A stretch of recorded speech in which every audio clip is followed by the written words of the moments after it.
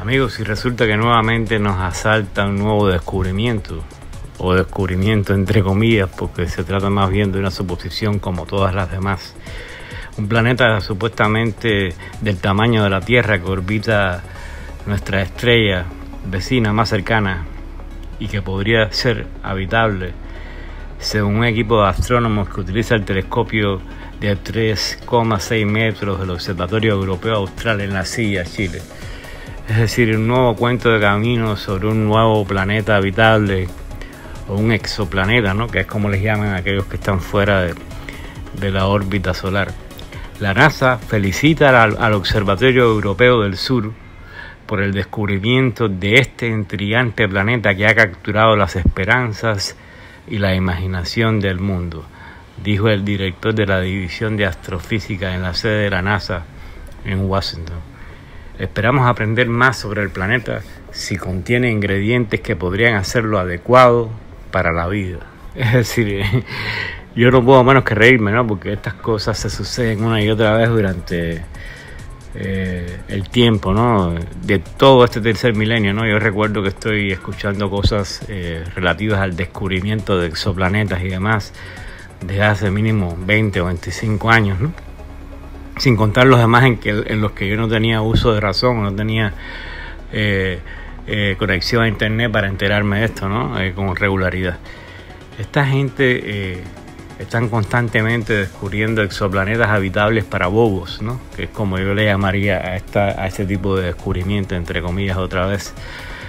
Estas personas, estos científicos o pseudocientíficos, ya no sé cómo llamarle, que hacen constantemente estos descubrimientos y siempre están eh, tirando fuegos artificiales con todas estas historias y comiéndole el cerebro a los demás. Esta gente llevan en esto, eh, como, ya, como, como ya dije, eh, décadas, no solamente eso, es decir, ahora no, hace poco nos dicen que van a volver a pisar la luna en el 2024, ¿no? dentro de cuatro años, porque los plazos que ofrecen casi siempre son de 3, 4, 5 años eh, sobre ciertas expectativas que al final nunca se cumplen, pero que además la gente se le olvidó ya que se dijeron en algún momento, ¿no? Hace 50 años aproximadamente el hombre supuestamente pisó la luna y digo supuestamente porque todo este eh, toda esta discusión alrededor de si se pisó o no la luna sigue activa, ¿no? A pesar de los pesares. Es decir, ¿en qué cabeza cabe que si en 50 años, que en 50 años, hace 50 años que el hombre pisó la luna y después nunca ha podido regresar, han pasado, han pasado cinco décadas y estas personas que pisaron la luna, es decir, este, este, esta organización, en este caso la NASA, ¿no? Estados Unidos, pero puede ser cualquier otro país, ¿no? nos avisan que, que cohetes y, y telescopios eh, han, han pasado alrededor de la Luna o han superado esa distancia, ¿no? ¿En qué cabeza cabe que nadie haya podido pisar la Luna o haya podido aterrizar en la Luna? Ningún ser humano después de 50 años de haberlo hecho. ¿Cuáles son las explicaciones? ¿Cuál es el, sentido de todo esto, ¿no? De que se llegue a, a un lugar y después no se pueda llegar nunca más, ¿no?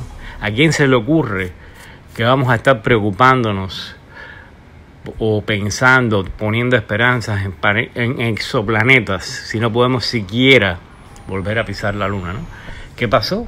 Es decir, ¿cuál es el objetivo de todo esto, no? Por eso yo hablo de, esta cosa de, los planetas para bobos, ¿no? De los exoplanetas para bobos.